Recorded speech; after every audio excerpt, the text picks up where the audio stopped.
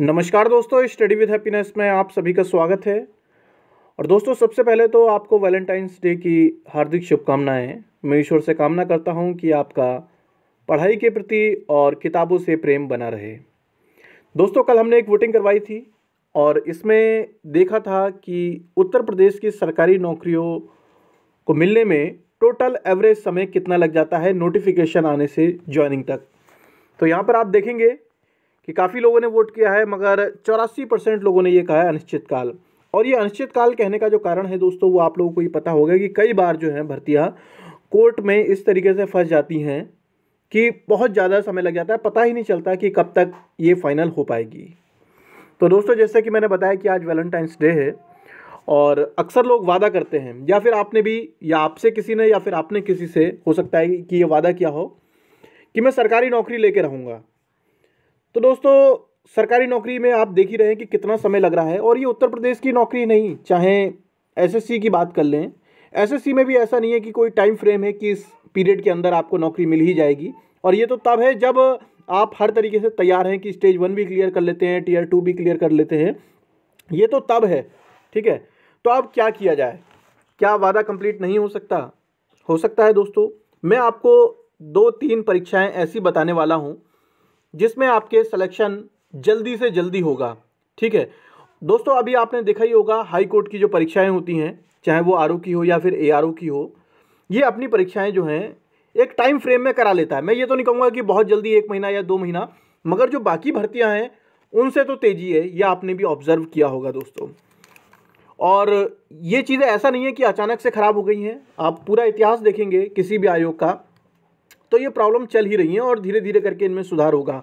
अचानक से एकदम से सुधार नहीं हो सकता, मगर जो लोग चाहते हैं कि जल्दी से जल्दी नौकरी लें तो उनके लिए दोस्तों एक हाई कोर्ट वाली परीक्षा हो सकती है, आर ओ, ए, आर ओ। अभी आर ओ वाली चल रही है, उसके बाद ए, आर ओ भी उसकी आनी है। उसके अलावा दोस्तों I B P S bank. अब कई लोग ये कहेंगे कि आई बी पी एस के लिए एक तो बैंक में वर्कलोड बहुत होता है और इंग्लिश नहीं आती, क्योंकि आई बी पी एस के जो एग्ज़ाम है, उसमें इंग्लिश पूछी जाती है, ये बात सब लोग जानते हैं। मगर दोस्तों, मैं आपको बता देता हूँ कि IBPS से ही एक RRB वाला निकलता है, जो ग्रामीण बैंक का है दोस्तों। उसमें आपकी चॉइस है, चाहे तो हिंदी भी कर सकते हैं उसमें, ठीक है? कई लोगों को नहीं पता होगा। IBPS भी दोस्तों बहुत जल्दी रिक्रूटमेंट करा देता है। एक टाइम फ्रेम है कि अगर आपने किसी से प्रॉमिस किया है कि हाँ तो कंप्लीट हो सकता है। मगर बाकी जो भर्तियाँ देख रहे हैं आप, इतना लंबा समय चल रहा है तो पता नहीं भर्ती कब होगी। इसके अलावा दोस्तों IBPS मैंने आपको बताया, और यूपीएससी जो है यानी कि यूनियन पब्लिक सर्विस कमीशन, ये अपने कैलेंडर के अकॉर्डिंग परीक्षा भी कराता है, रिज़ल्ट भी जारी करता है।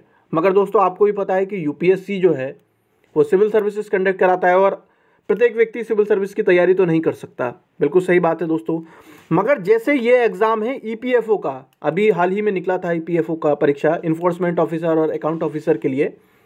तो ये वाली परीक्षाएँ तो दी जा सकती हैं दोस्तों, क्योंकि ये ऑब्जेक्टिव टाइप परीक्षाएँ हैं और इसके बाद में डायरेक्ट इंटरव्यू है। इसमें डिस्क्रिप्टिव एग्ज़ाम नहीं होने वाला है। तो ये वाली एक तो परीक्षा अच्छी है। तो अगर आप एक निश्चित टाइम फ्रेम में नौकरी पाना चाहते हैं तो ईपीएफओ अच्छी नौकरी हो सकती है और अगर आप इसके लिए तैयारी करें। उसके अलावा दोस्तों, एक परीक्षा और है असिस्टेंट कमांडेंट की। जितने भी ये आर्म फोर्स होते हैं सीआरपीएफ बीएसएफ या फिर एसएसबी जितने भी पैरामिलिट्री इन्हें बोला जाए तो इसके अंदर चौवन सौ ग्रेड पे पे निकलती है वैकेंसी असिस्टेंट कमांडेंट की। और दोस्तों, ये इस साल के लिए ही मौका बाकी है, क्योंकि ये वाली जो परीक्षा है, इस तरीके की चर्चाएँ चल रही हैं कि इसे भी यूपीएससी जो सिविल सर्विस का एग्ज़ाम होता है, उसी के साथ मर्ज कर दिया जाए। ठीक है? तो जो लोग इस परीक्षा को देना चाहते हैं, वो पूरा यूपीएससी की साइट पर जाकर देख सकते हैं कि कब इसका नोटिफिकेशन आ रहा है और कैसे इसकी तैयारी करनी है। सब जानकारी आपको मिल जाएगी। ठीक है दोस्तों? तो मैंने कहा आप लोगों को बता देता हूँ कि अगर आप चाहते हैं कि जल्दी से जल्दी आप नौकरी पाएँ तो कहीं ना कहीं जो है आपको अपनी तैयारी में और अपनी रणनीति में कुछ ना कुछ बदलाव लाने पड़ेंगे। वरना आप फुर्सत से हैं, अगर आपको इतनी ज़्यादा ज़रूरत नहीं है नौकरी की तो आराम से तसल्ली रखें।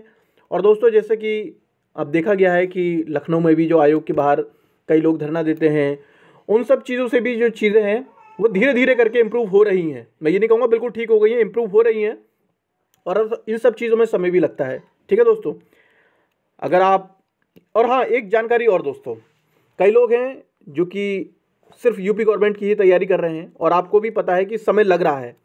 मगर दोस्तों, कई लोग, सब लोग इतने आर्थिक रूप से समृद्ध नहीं होते हैं कि सिर्फ़ और सिर्फ़ तैयारी कर पाएँ। तो आप कुछ ना कुछ जो है पार्ट टाइम जॉब भी कर सकते हैं। मगर जॉब करते समय आपको ये ध्यान रखना है कि कोई भी जॉब आप जब चुनते हैं तो ऐसा ना हो कि आप स्टडी से बहुत ज़्यादा दूर चले जाएँ।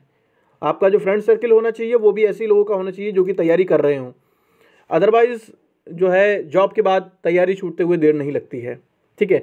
और जो लोग इस समय पर तैयारी के साथ में जॉब कर रहे हैं तो मैं उनसे अनुरोध करूँगा कि आप कमेंट सेक्शन में ज़रूर बताइएगा कि आप इस समय पर कौन सी जॉब कर रहे हैं प्राइवेट में, जिससे कि बाकी लोगों को भी अच्छे सुझाव और प्रैक्टिकल सुझाव दिए जा सकें। ठीक है दोस्तों? जल्द मिलेंगे हम नेक्स्ट वीडियो में। और हाँ मिथिलेश जी हैं। इन्होंने एक कमेंट किया था। तो दोस्तों, प्रत्येक व्यक्ति जो है मिथिलेश जी जैसा भाग्यवान नहीं होता कि 24 साल की उम्र में ही इन्हें नौकरी मिल गई थी और ये शुक्रिया अदा भी अदा करते हैं। अच्छी बात है दोस्तों, बहुत लोग होशियार होते हैं। तो देखिए दोस्तों, ये लक का यहाँ पर फैक्टर काम करता है कि आपको नौकरी जल्दी मिल जाती है। मगर ऐसा नहीं है कि लक ऐसे व्यक्ति को नौकरी दिला देगा जिसने कभी तैयारी ही नहीं की, ठीक है? तो तैयारी तो आपको करनी ही है। तो जल्द मिलेंगे दोस्तों हम नेक्स्ट वीडियो में। तब तक के लिए जय हिंद, जय भारत।